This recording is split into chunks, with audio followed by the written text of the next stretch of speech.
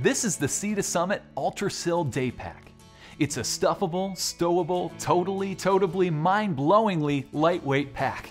It makes a great summit pack for backpacking trips and is great for travel too. Let's take a look. This pack stores a total of 20 liters. That's plenty of space for a day hike or a trip around the city.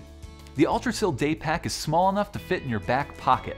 It only weighs 2.4 ounces, so you can forget you're even carrying it. Despite its weight, the fabric is a strong Cordura that will resist tears and handle an appropriate amount of weight. The low profile design is streamlined, so it will stay close to your back when you're moving. That streamlined design and single zipper mean this pack is exactly as simple as you want it to be. It's the Sea to Summit Ultrasil Day Pack.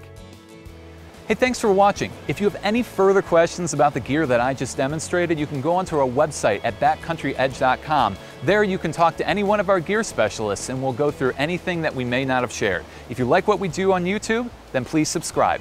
Thanks for watching.